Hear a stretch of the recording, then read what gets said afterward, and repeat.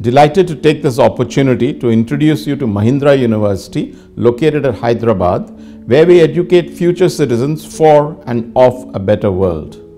5,400 students as of today and looking to touch 10,000 by the year 2030, straddling the schools of engineering, management, law, education, digital media and communication, design innovation, and hospitality.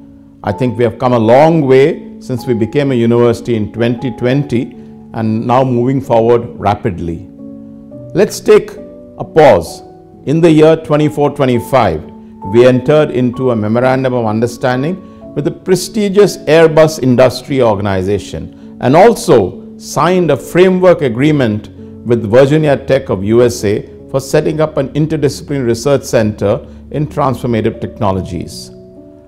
Quality faculty, quality students, and infrastructure which beats anywhere in the world sets Mahindra University apart.